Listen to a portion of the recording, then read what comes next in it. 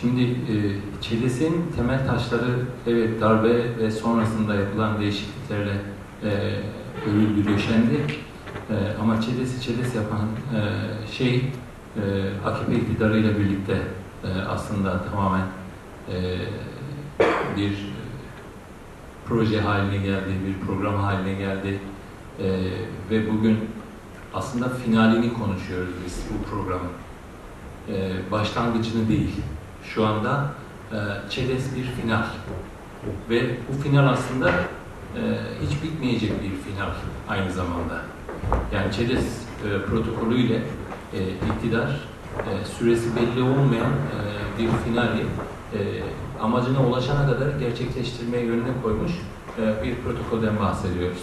Özellikle okullara manevi danışman adı altında görevlendirilecek kadrolar, e, Diyanet İşleri Başkanlığı'nın kadrolarının ya da illerde işte e, müftülüklerin kadrolarının okullara manevi danışman olarak görevlendirileceği haberi ve bunun da özellikle İzmir'den ve Eskişehir'den e, başlatılacağı haberiyle e, birazcık farkına varmış olduk. E, aslında eğitim sendikaları da eğitim senede dahil olmak üzere ilk tepkisini e, 23 2023 Haziran'ına vermiş oldu.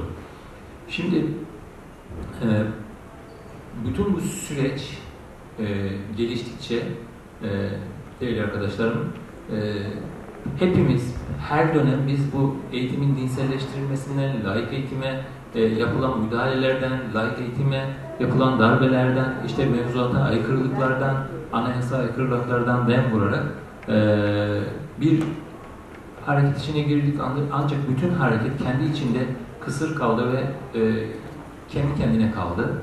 E, bir türlü bu hareket birleşemedi.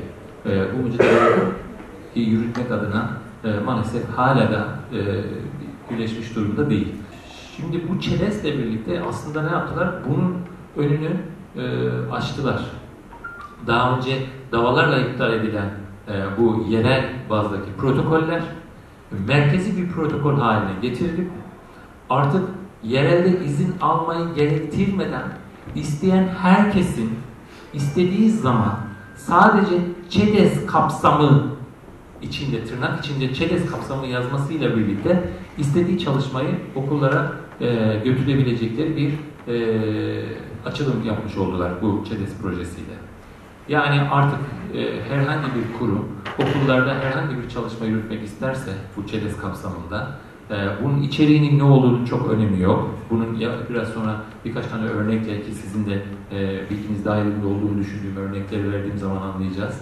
E, hiçbir şekilde izine gerek kalmadan e, isteyen e, kurum, dernek, cemaat neyse adı o çalışmayı rahatlıkla yürütebiliyor.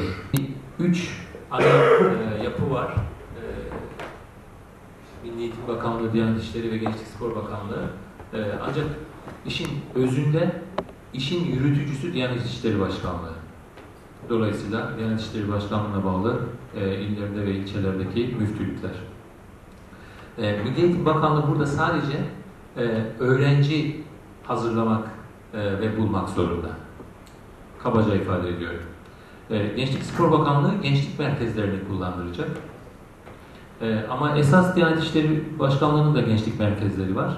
Diyanet İşleri'nin gençlik merkezleri yeterli değilse o zaman e, Gençlik Spor Bakanlığı'nın gençlik merkezleri kullanacak. E, şu anda fiili olarak e, yapılan çalışmada bu zaten. E, dolayısıyla insan kaynağı Milli Eğitim Bakanlığı'na bağlı. E, nedir? Ortam e, e, yapılacak çalışmaların ortamları Diyanet İşleri ve Gençlik Spor Bakanlığı'na ama işin çalışmasının yürütücüleri, eğiticileri Diyanet İşleri Başkanlığı'na bağlı personel. Depremde bile depremde bile kaybolan çocukların birçoğu nereden çıktı arkadaşlar? Bulunan çocuklar. Cemaat ve örgütlerin şeylerinden çıktı, ellerinden çıktı. Yani bu basit bir proje değil. Bakın, geleceğimizle ilgili bir proje. Gelecek yaşamımızla ilgili bir proje. Yani şöyle bir şey diyebiliriz. Yani biz belli bir yaşın üstüne geldik, belli bir şey yaşadık. Ee, bugün hani bunu e, şey yapabiliriz, e, nedir? Kabul edebiliriz gibi düşünebiliriz ama gerçekten geleceği çocuklarımızın ve e, gençlerimizin gelecek diye e, ciddi bir sorunu var. Ve bu ülke içinde bir gelecek görmedikleri için de bugün bunun sonucu ne oluyor? yurt dışına gitme, gitmeye çalışma, e, gerek kaçak yollardan gerek e, yasal yollardan e, gitmeye çalışma şeklinde oluyor. E, ben eminim ki bizim çocuklarımız da dahil evlerimizde yurt dışına gitmeyi düşünmeyen bir genç yok herhalde. Yani benim ortaokulda çocuğum var. Ortaokuldaki çocuğumun projesi şu anda o yurt dışına gitmek. Hatta hatta ilkokul çocuğunun da. Görmüyor çocuk yani.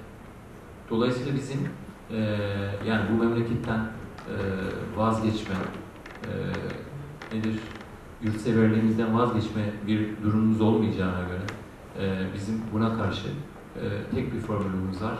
E, birleşerek kazanacağız, başka yolu yok.